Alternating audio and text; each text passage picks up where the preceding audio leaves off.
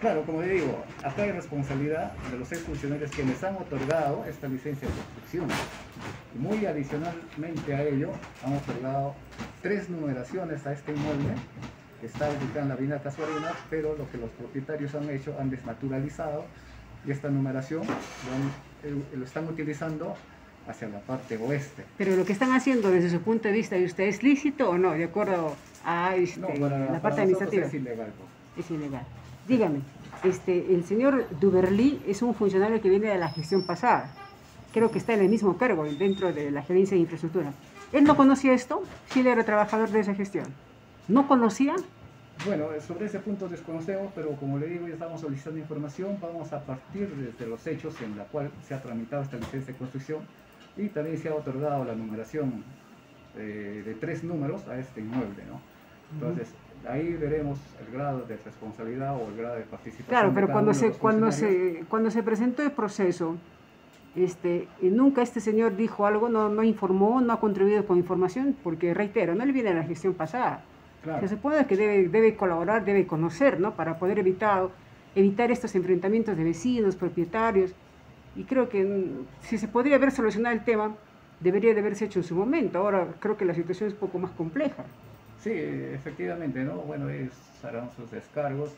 Eh, como usted sabe, recién el día de hoy se ha llevado la, la- la constatación. Estamos nosotros en- solicitando toda la información correspondiente. Tenemos algunos documentos que ya nos han entregado, como son las resoluciones. Nos ¿Quiénes informes firman, ¿quiénes, por favor, este, procurador, quiénes firman esas resoluciones que le dieron la autorización a esta construcción? ¿Quiénes son esas personas? Eh, bueno, está el ingeniero Carlos Suárez ¿Ya? Como subgerente de habitaciones urbanas y catastro. ¿Es el único que firma? Eh, como subgerente, él es el que firma la licencia de construcción. Pero por encima de él está otra persona, está el gerente de infraestructura, supongo. Eh, claro, está el gerente de infraestructura, bueno, en ese entonces este, el gerente municipal, también, bueno, hay que, como sea- estamos indagando sobre todo ese bien. tema, ¿no? Como procurador, usted va a proceder de acuerdo a norma. Eh, sí, justamente estamos viendo la legalidad o ilegalidad de que sea, este, se haya otorgado esta licencia de construcción, ¿no? Pero le reitero mi pregunta. Como se ha aprobado, inclusive como se ha visto, este, los voladizos en la parte sur es este, colindante con el campo deportivo. O sea, eso, ese voladizo no debería existir. eh, claro, es, son colindantes, ¿no? Ujú. Ahora, mi pregunta, reitero. O sea, el señor Duberly, tengo entendido que es arquitecto, creo, no tiene nada que ver en este tema, no tiene nada que explicar, porque él, reitero, viene de la gestión pasada y en la misma gerencia donde está actualmente, tengo entendido. Los vecinos Eh, están indicando de que sí, este, él, de alguna manera, él conocía todo esto.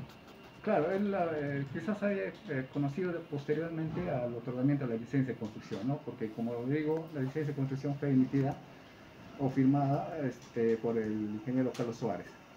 Sí, posterior a ello ya, bueno, eh, habrá sido funcionario, eso todavía no tenemos acá la acreditación. ¿Cuándo sabremos de todas las personas que tendrían que explicar lo que está ocurriendo en esta, en esta más zona? tarde el día de mañana, porque como le digo, el día de viernes tenemos una audiencia en la cual nosotros tenemos ya que, que plantear nuestros alegatos y nuestra defensa. ¿no?